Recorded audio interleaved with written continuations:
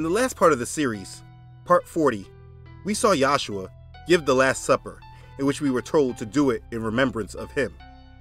We then saw Judas take a bride with the Pharisees to deliver Yahshua to be killed.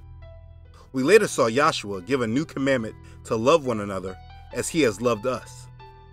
As we move along through the gospel, the complete understanding of the new covenant really starts to form. We are saved through the blood of Yahshua, his blood that was shed in the blood of the new covenant. He is the Passover lamb that we place over our lives, that redeems us from the bondage of sin. Now, before he is betrayed, Yahshua told his disciples a great deal that needs to be understood by us all. It is found in John chapters 14 through chapter 17. These words are something I encourage everyone to read consistently and definitely have a strong grasp of what he is communicating. We will jump right into it and understand what he is trying to tell us. I will stop at certain times to clarify certain points, but much of what he is saying is self explanatory. I'm sure it will bless you. Let's review his words. Let's begin.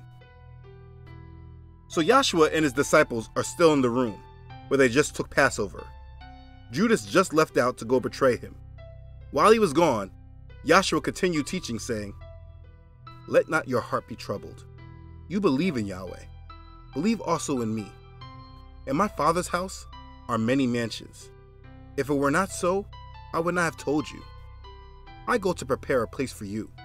And if I go and prepare a place for you, I will come again and receive you to myself, that where I am, there you may be also. And where I go, you know, and the way you know. Thomas said to him, Adonai, we do not know where you are going. How can we know the way? Yahshua said to him, I am the way, the truth, and the life. No one comes to the Father except through me. So let's cover that right there. Yahshua told us to believe in him. He is going to prepare a place for us. This is extremely comforting to know. He didn't leave us and have us wondering, would he come back or not, to take care of us. He told us he's preparing a place for us, and I'm so happy and excited about it. Now, don't mistake mansions for the multi million dollar mansions of the elite today. A proper translation for mansion would really be dwelling place a permanent, secure place for us to dwell when we are with Him. Could they be huge mansions? Maybe, or maybe not. I know many of us like to say, I may not have a mansion on earth, but I will get a mansion in heaven. What's important is that He is preparing a place for us all to dwell, and it will be spectacular. That's what's important. He says He will come again and receive us. It's important you never forget He is the way, the truth, and the life. No one comes to the Father except through him. So if someone presents another way to make it to the Father without him, they are taking you to Satan. He continues saying, If you had known me, you would have known my Father also. And from now on, you know him and have seen him. Philip said to him, Adonai, show us the Father, and it is sufficient for us. Yahshua said to him, Have I been with you so long, and yet you have not known me, Philip? He who has seen me has seen the Father. So how can you say, Show us the Father? Do you not believe that I am in the Father, and the Father in me? The words that I speak to you, I do not speak of my own authority, but the Father who dwells in me does his works. Believe in me that I am in the Father and the Father in me, or else believe me because of the works themselves. Yahshua came to reveal the Father. To know Yahshua is to know the Father. That's why 1 John chapter 2 verse 23 says, Whoever denies the Son does not have the Father either. He who acknowledges the Son has the Father also. Yahshua says, Believe me that I am in the Father and the Father in me. So please believe him. It obviously took Philip and Thomas a lot to understand this as well, but their confusion allows you to be reassured and confirmed. Continuing speaking, he said, Most assuredly, I say to you, he who believes in me, the works that I do, he will do also, and greater works than these he will do, because I go to my Father. And whatever you ask in my name, that I will do, that the Father may be glorified in the Son. If you ask anything in my name, I will do it. Whatever you ask in his name, he will do, that the Father may be glorified. Many people don't understand why we pray in the name of Yahshua. This is why. We go to the Father and ask in the name of Yahshua. We must always remember that He does answer prayers, but so that the Father may be glorified. So make His kingdom more of the priority than your own earthly desires. Continuing on, if you love me, keep my commandments, and I will pray the Father, and he will give you another helper, that he may abide with you forever. The Spirit of truth, whom the world cannot receive, because it neither sees him nor knows him. But you know him, for he dwells with you and will be in you. I will not leave you orphans, I will come to you. When he left, he did not leave us without help. He left us with a helper that abides in us forever. This is the Holy Spirit. The world cannot receive him, but believers can, and he dwells in us and stays with us. There is so much to say about the Holy Spirit. So before I made this video, I made a study on the Holy Spirit for everyone because he is something you must understand. Please watch. Okay, continuing on. A little while longer, and the world will see me no more. But you will see me, because I live. You will live also. At that day you will know that I am in my Father, and you in me, and I in you. He who has my commandments and keeps them, it is he who loves me. And he who loves me will be loved by my Father, and I will love him and manifest myself to him. Judas, not Iscariot, said to him, Adonai, how is it that you will manifest yourself to us and not to the world?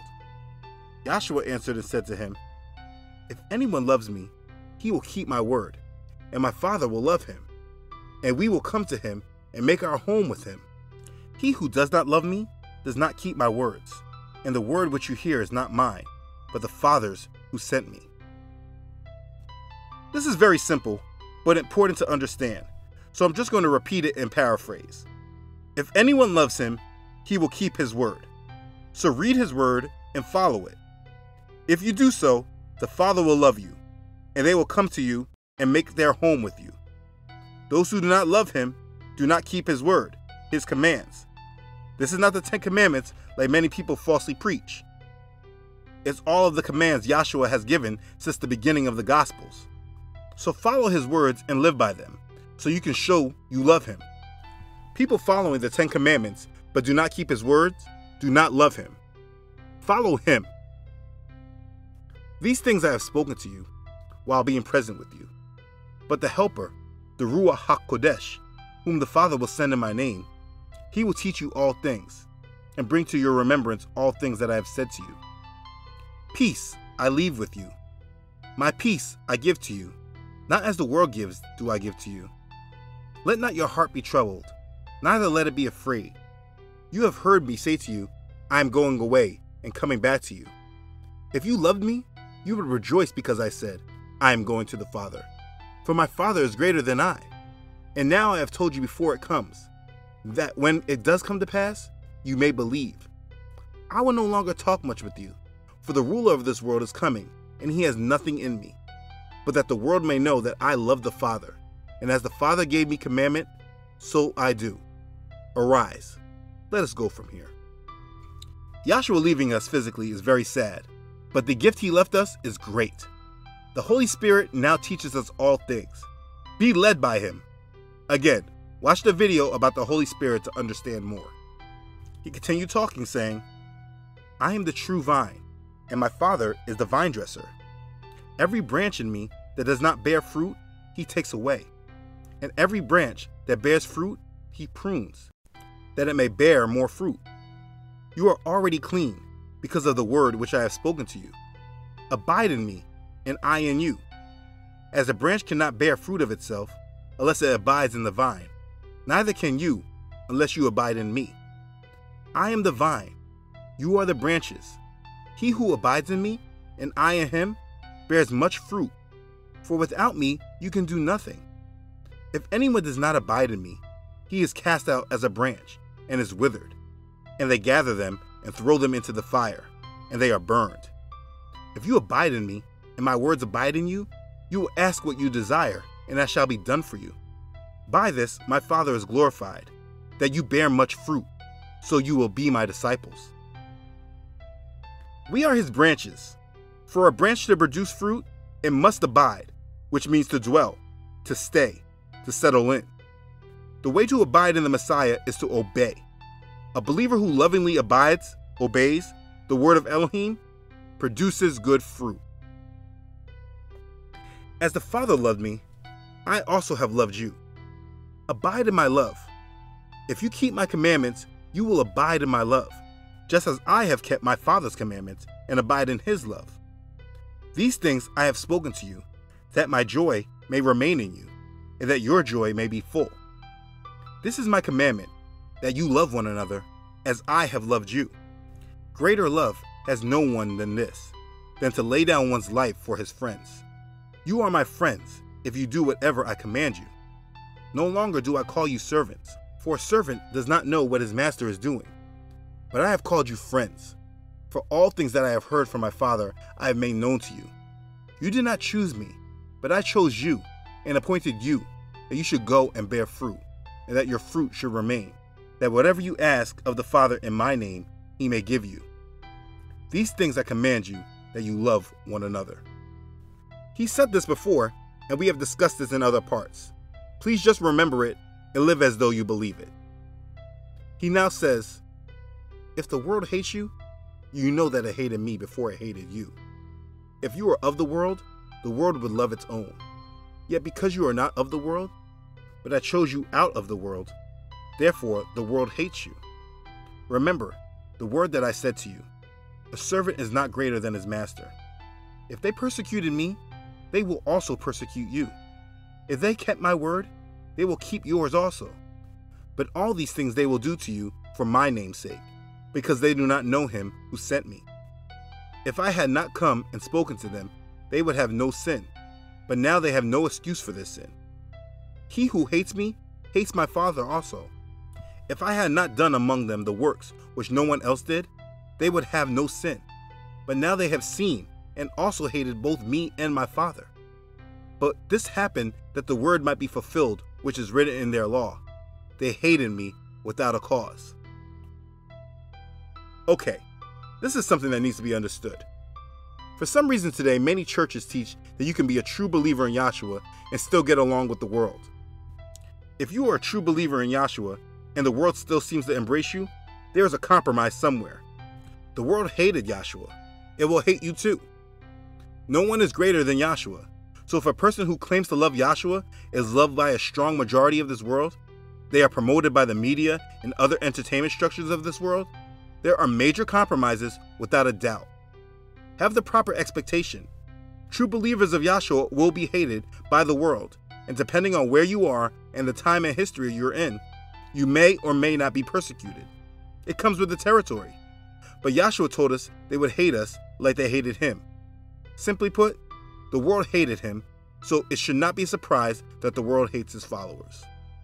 Then he said, But when the Helper comes, whom I shall send to you from the Father, the Spirit of truth who proceeds from the Father, he will testify of me, and you also will bear a witness, because you have been with me from the beginning. The Helper has come. He is the Holy Spirit. Just be led by him. Be led by the Holy Spirit. Continuing, these things I have spoken to you, that you should not be made to stumble. They will put you out of the synagogues. Yes, the time is coming that whoever kills you will think that he offers Elohim service. And these things they will do to you because they have not known the Father nor me. But these things I have told you, that when the time comes, you may remember that I told you of them. And these things I did not say to you at the beginning because I was with you. Again, Remember, the world will hate you. You may find this hate in your own churches because you want to stand up for His truth, or you may find it with your own family because you want to preach the truth and they don't want to hear it. Just remember John chapter 16, verse 1 through 4, anytime this happens to you. He told you this so you remember it. Continuing, but now I go away to him who sent me, and none of you ask me, Where are you going? But because I have said these things to you, sorrow has filled your heart. Nevertheless, I tell you the truth. It is to your advantage that I go away. For if I do not go away, the Helper will not come to you. But if I depart, I will send him to you. And when he has come, he will convict the world of sin, and of righteousness, and of judgment. Concerning sin, because they do not believe in me. Concerning righteousness, because I go to my Father, and you will see me no more. Concerning judgment, because the ruler of this world is judged. I still have many things to say to you, but you cannot bear them now. However, when He, the Spirit of truth, has come, He will guide you into all truth. For He will not speak on His own authority, but whatever He hears, He will speak. And he will tell you things to come. He will glorify me, for He will take of what is mine and declare it to you. All things that the Father has are mine. Therefore, I said that He will take of mine and declare it to you. What a blessing. Thank you, Father. The Holy Spirit is a big part of his teaching over these three chapters. Again, if he did not leave, we would not receive the gift of the Ruach HaKodesh. There is no greater gift. Understand the Ruach HaKodesh.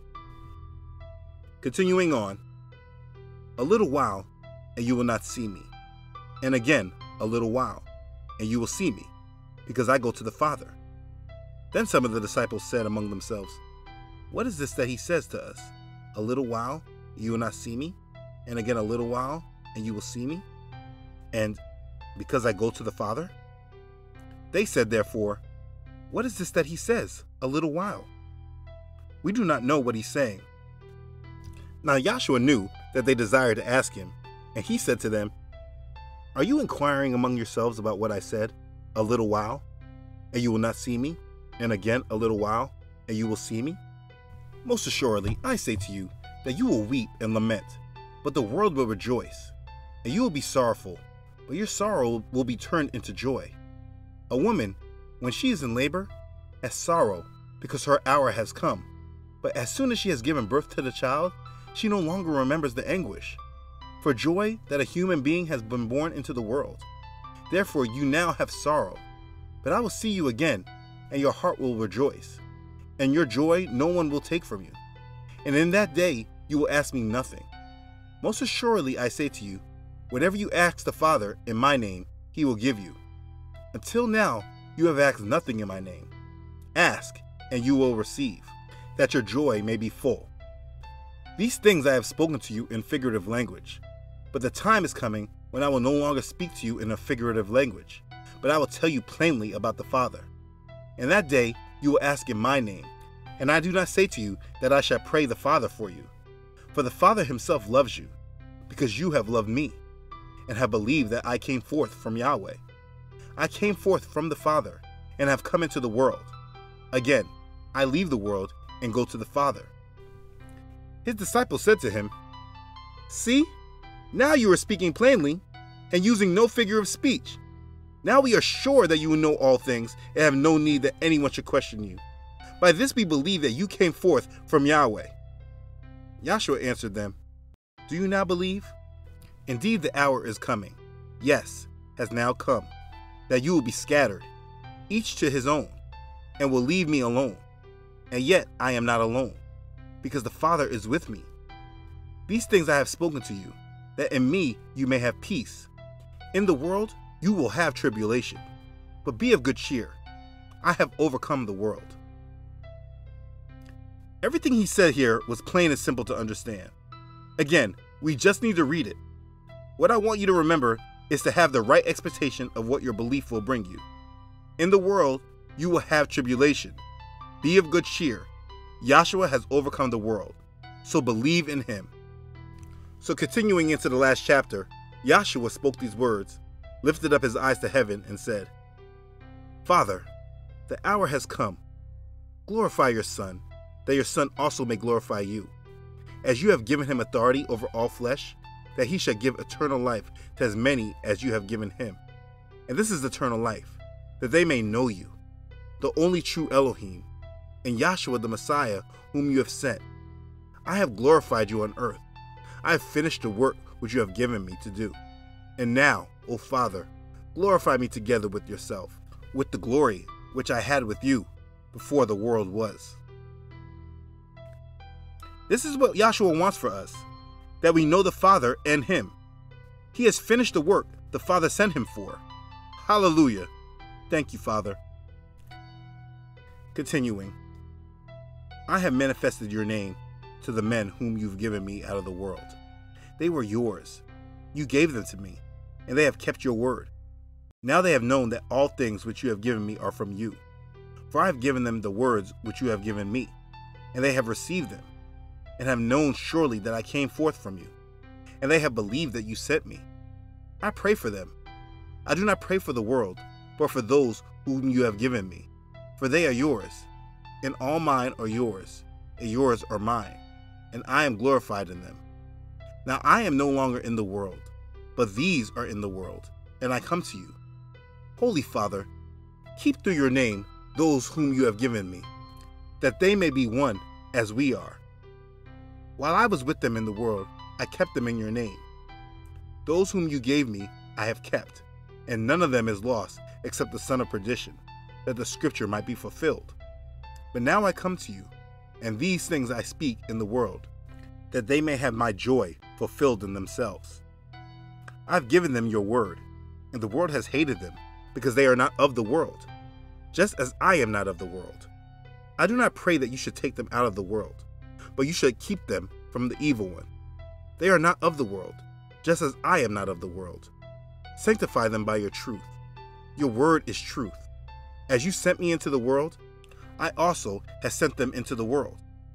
And for their sakes I sanctify myself, that they also may be sanctified by the truth. After I read this, I think of 1 John chapter 2, verse 15 through 17. It says, Do not love the world or the things in the world. If anyone loves the world, the love of the Father is not in him. For all that is in the world, the lust of the flesh, the lust of the eyes, and the pride of life, it is not of the Father, but is of the world. And the world is passing away, and the lust of it. But he who does the will of Elohim abides forever.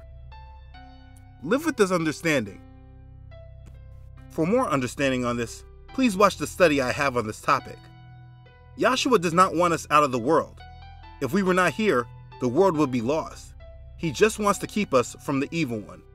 Don't engage in behavior that makes this hard to do.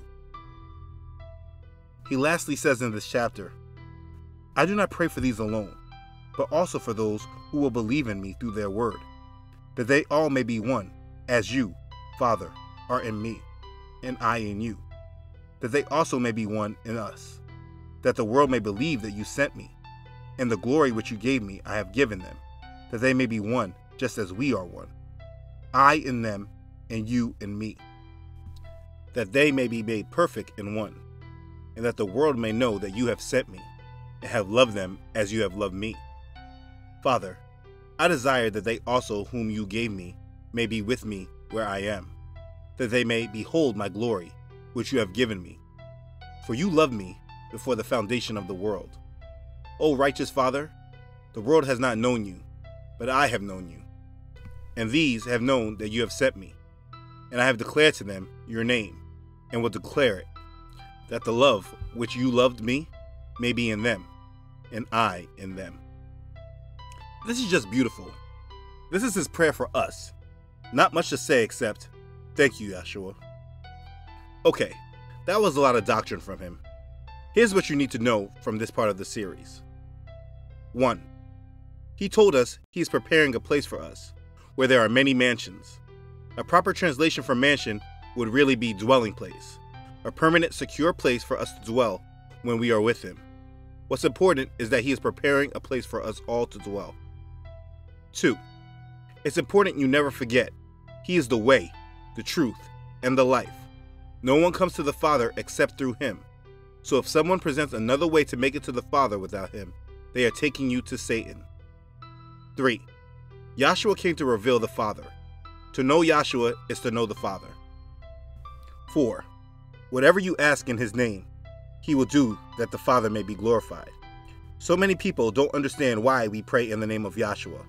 This is why. We go to the Father and ask in the name of Yahshua. 5. When he left, he did not leave us without help. He left us with a helper that abides in us forever. This is the Holy Spirit.